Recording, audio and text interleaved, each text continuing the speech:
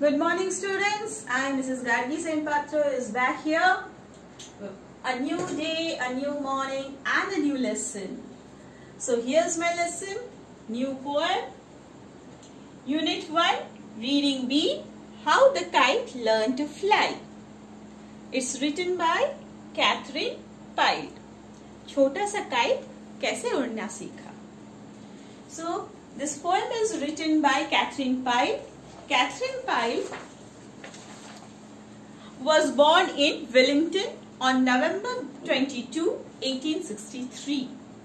उनका जन्म विलिंगटन में हुआ है और नवंबर ट्वेंटी सेकेंड को 1863 and she studied from Wellington Mrs. Uh, Helps School.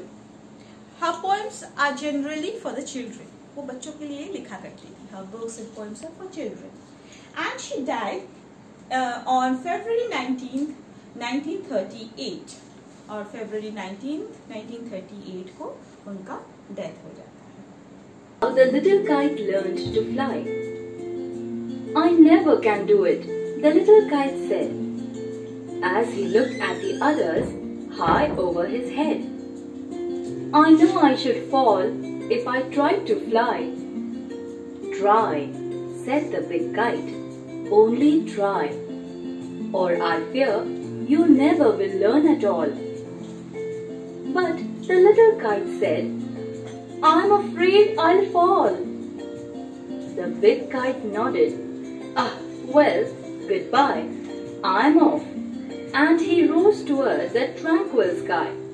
Then the little kite's paper stirred at the sight, and trembling, he shook himself free for flight.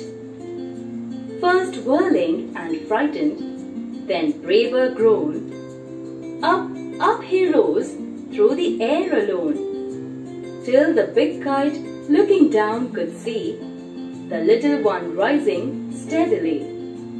Then how the little kite thrilled with pride as he sailed with the big kite side by side, while far below he could see the ground and the boys like small spots moving round.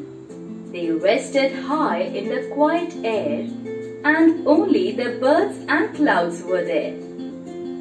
Oh, how happy I am! The little kite cried. And all because I was brave and I tried. Catherine. Very nice poem. Uh, let me explain it. I never can do it, the little kite said. Little kite बोला, मुझे मुझसे कभी नहीं होगा. As he looked at the others, high over his head. तो जैसे ही ऊपर उठते हुए पतंग की तरफ़ देखता है तो छोटा सा पतंग बोलता है, ये तो मुझसे कभी नहीं होगा I know I should fall if I try to fly. वो बोलता है, अगर मैं उड़ने का कोशिश करूँगा ना तो ज़रूर मैं गिर जाऊँगा try said the big kite only try so the big kite he says that तुम ट्राई करो, कोशिश तो करो। और I fear you never will learn it all जब तक तुम कोशिश नहीं करोगे, तब तक आप सीखोगे ही नहीं। But the little kite said I am afraid I fall छोटा सा काइट बोलता है, नहीं, मुझे बहुत डर लगता है, मैं तो गिर जाऊँगा, मुझे तो बहुत चोट आ जाएगी. The big kite nodded a well good bye I'm off he and he rose towards the tranquil sky ये बोलते हुए उसने छोटे काइट को गुड बाय किया और अपना शांत आसमान की तरफ़ उड़ गया। Then the little kite's paper stirred at the sight. वो देखकर छोटा जो काइट है उसका पेपर थोड़ा सा हिला। And trembling he shook himself free for flight और फिर थोड़ा सा कांपते हुए वो सोचा चलो उड़, उड़ने की कोशिश करते हैं। फ़र्स्ट वर्लिंग एंड फ्राइटेंड पहले वो गोल गोल घूमता रहा और फिर थोड़ा सा डर के एंड देन ब्रेवर ग्रो फिर थोड़ा ज़्यादा बहादुर बन गया। अप अप ही रोज फिर धीरे धीरे ऊँचे आसमान की तरफ़ चला गया। थ्रू द एयर अलोन अकेले, पूरे हवा में अकेले वो ऊपर चढ़ता गया।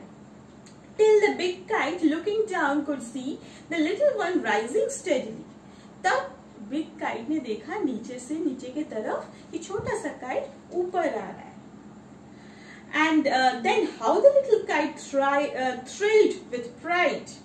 अब धीरे धीरे वो उसमें आत्मविश्वास जन्म लिया और रोमांचित होकर वो आसमान में उड़ने लगा as he sailed with big kite side by side तो पहले जो काइट बिग काइट के साथ उड़ने में डरता था अभी ऊँचे आसमान, ऊपर आसमान में दोनों काइट बिग एंड स्मॉल दोनों kite they are flying together while far below he could see the ground अब ऊपर से नाउ फ्रॉम द फार एकदम ऊँचे, दूर से उसे दिख रहा है। He could see the ground उसे नीचे ग्राउंड दिख रहा है। And boys like small spots moving around और बच्चे जो हैं, लड़के जो हैं, एकदम छोटे छोटे spots they are looking like spots और छोटे छोटे स्पॉट्स चारों ओर घूम रहे हैं। They rested high in quiet air और फिर थोड़ी देर के लिए दोनों थोड़ा सा रेस्ट ले लिए आसमान में। And only the birds and clouds were there so सिर्फ़ वहाँ पर कौन था? बर्ड्स थे और क्लाउड्स क्लाउड्स मतलब बादल थे। Oh, how happy I am! The little kite cried. मैं कितना खुश हूँ। And all because I was brave and tried ये सब मुमकिन हुआ क्योंकि मैं बहादुर हुआ और मैंने कोशिश की। रिटन बाय कैथरीन पाइड अब बच्चे आप लोग बताइए तो इसमें से क्या सीख मिलती है आप लोगों को? Do you learn anything from this poem I think you learn many things यहाँ पर हमारे साथ बहुत सारे ऐसे बच्चे हैं जो बिना कोशिश किए हार जाते हैं। सोचते हैं अरे ये तो मुझसे नहीं होगा। पढ़ना लिखना छोड़ के वो लोग बोलते हैं नहीं मैं तो नहीं पास हो पाऊँगा मैं पढ़, नहीं पढ़ूँगा। This is all for you हर एक बच्चे में टैलेंट है।